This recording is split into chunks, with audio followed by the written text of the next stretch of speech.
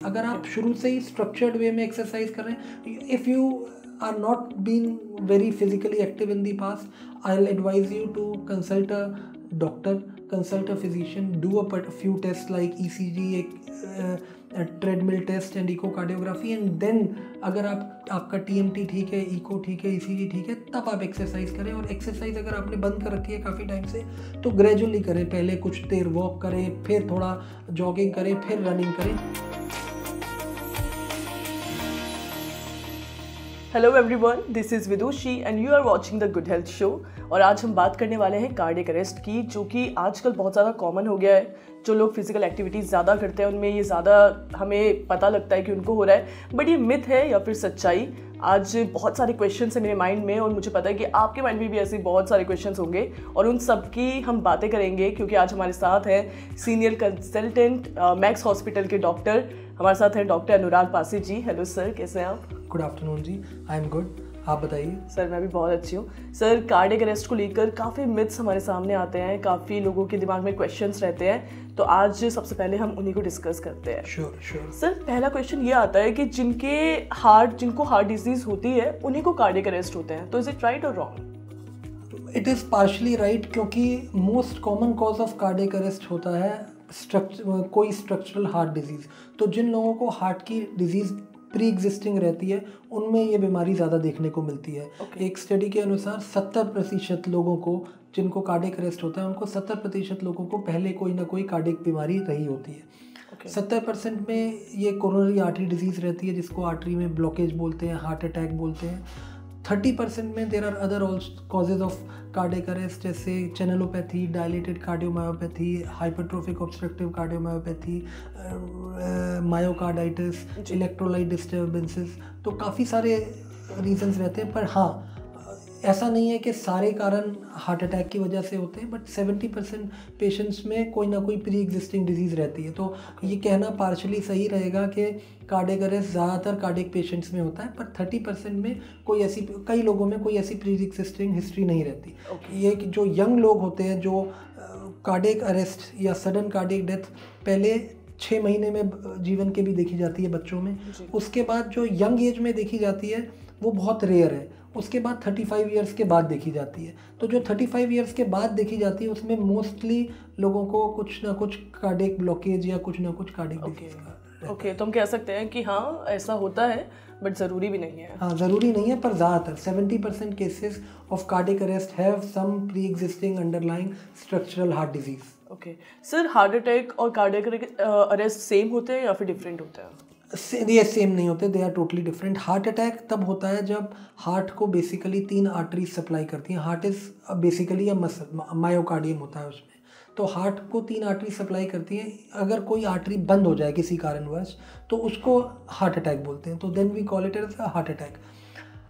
cardiac arrest is one once there is sudden cessation of cardiac activity heart completely stop हो जाए okay. तो उसकी beating बंद हो जाए there is no circulation there is no breathing तो cardiac arrest heart attack eventually can lead to cardiac arrest but cardiac arrest and heart attack are totally different heart attack होता है जब कोई आर्टरी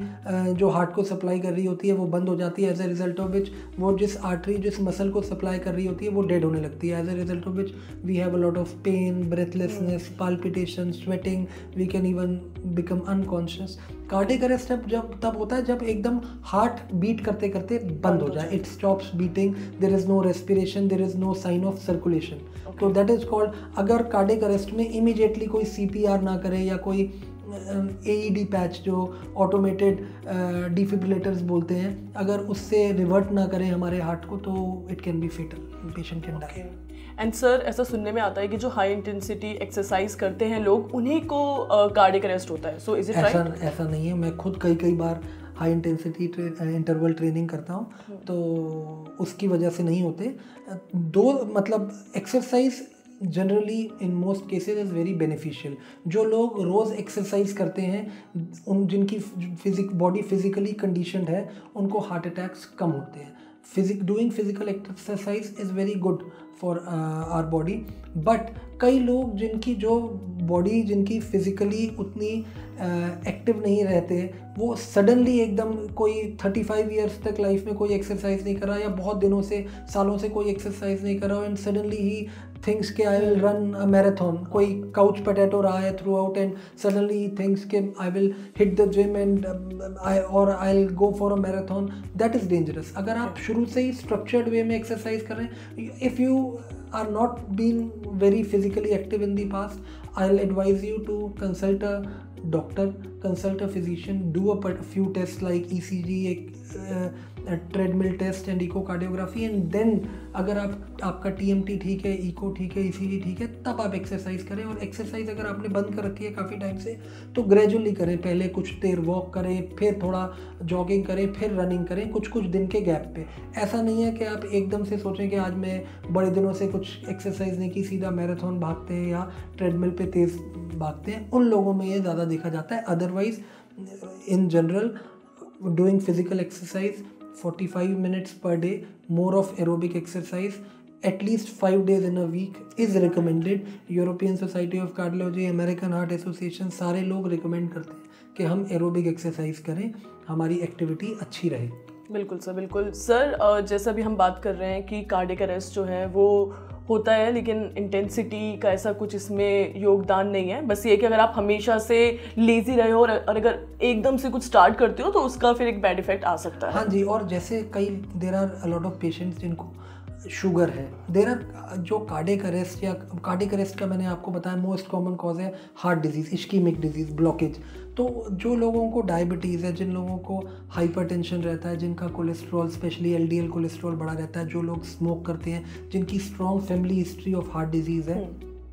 उनको before doing such exercises they should go for a screening test like E C G echocardiography अपने sugar level देख लें, अपना B P देख लें। After doing all these test you can safely do exercise okay okay, तो हम ये समझ सकते हैं कि कार्डिक अरेस्ट के जो रीज़न है जो भी आपने दिए वो सारे हैं या फिर इसके अलावा भी और भी कुछ रीज़न हो सकते हैं देखिए मेजोरिटी जो रीजन होते हैं it is risk factors are divided into two parts there are one is one are non modifiable risk factors जिनको हम चेंज नहीं कर सकते जैसे एज जैसे जैसे हमारी एज बढ़ेगी हार्ट की प्रॉब्लम बढ़ेगी. Sex male population is more prone for cardiac disease than female population family history of heart disease is very significant risk factor race uh, Southeast Asian people India Pakistan Bangladesh are more prone for heart disease as compare to Europeans और American कहते हैं कि हम लोगों में disease एक decade earlier होती है as compare to the western world ये नॉन मोडिफाइबल रिस्क फैक्टर होगा जिनके बारे में हम कुछ नहीं कर सकते ना एज ना सेक्स ना रेस ना family history modifiable risk factors पे हमें काम करना है and you should know your numbers modifiable risk factors हैं डायबिटीज़ आपको कोशिश करना है कि आपका H B A one C under control रहे. स्मोकिंग स्मोकिंग बिल्कुल करनी ही नहीं है. एब्सोल्युटली जो चीज़ एक बिल्कुल छोड़नी है, वो है स्मोकिंग तीसरे नंबर पे है हाइपरटेंशन अपना बीपी हमेशा 140 140 बाई 90 से नीचे रखें. Cholesterol LDL cholesterol preferably 100 milligram पर डेसीलीटर से नीचे रखें. ओवरवेट ना हो. अपना डाइट का ध्यान रखें और फ़िज़िकल एक्टिव रहें. तो ये बेसिकली रिस्क फैक्टर्स हैं जो लोग डाइट का ध्यान नहीं रखते ओवरवेट होते हैं, या एक्सरसाइज नहीं करते शुगर बीपी अनकंट्रोल रहता है स्मोक करते रहते हैं, या कोलेस्ट्रॉल बढ़ा जाता है, उन लोगों में ये बीमारी ज़्यादा पाई जाती है और इसलिए कहते हैं कि you should very often one celebrity dies and then during exercise and there are a plethora of patients who come to our O P D के हमें सारा चेक करना है। But it should be this health should health awareness should be prioritize आपको खुद ही सोचना चाहिए कि अगर आप कुछ uh, वर्कआउट कर रहे हैं if you are running a marathon you should get yourself tested अगर आपको इनमें से कोई भी रिस्क फैक्टर्स हैं तो आई स्ट्रॉन्गली सजेस्ट कि आप अपने किसी फिजिशियन को दिखाएँ या कार्डियोलॉजिस्ट को दिखाएँ, ये सब फैक्टर्स कंट्रोल में लाएँ। अपना एक ट्रेडमिल टेस्ट करें जो जिसमें हम एक पर्टिकुलर हार्ट रेट तक पहुंचाते हैं पेशेंट को और अगर उसमें ईसीजी में चेंजेस नहीं आते तो दैट मीन्स कि वो थोड़ा बहुत एक्सरसाइज कर सकता है। सर लेकिन हम जैसे देखते हैं कि जो आजकल एथलीट्स हैं या फिर सेलिब्रिटीज़ हैं, जैसे आपने बताया कि उनको सडन कार्डिक अरेस्ट आते हैं और इनफैक्ट डेथ का भी काफ़ी सुनने में आया था पीछे तो इन, ये, उनके पीछे का रीज़न क्या था?